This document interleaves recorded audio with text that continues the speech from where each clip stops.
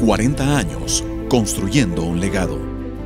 Estamos felices de que nuestra universidad esté cumpliendo 40 años. Se ha posicionado a lo largo de este periodo máximo de la Academia Nacional. Felicidades. Hagamos la diferencia. Seamos mejores.